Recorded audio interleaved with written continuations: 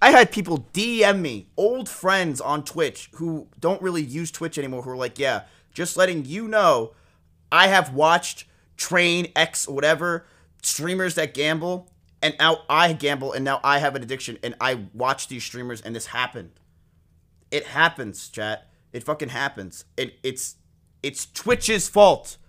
Twitch should just ban it. Why can't Twitch ban it? I don't get it. Why is this a thing still?